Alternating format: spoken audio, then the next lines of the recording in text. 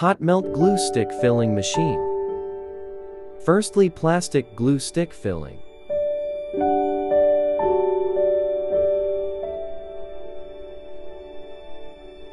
Then send them to the cooling tunnel.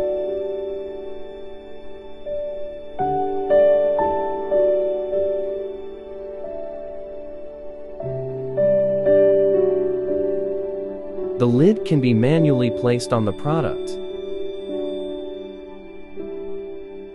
When the product passes under the press cap machine, the press cap machine moves down to press the lid.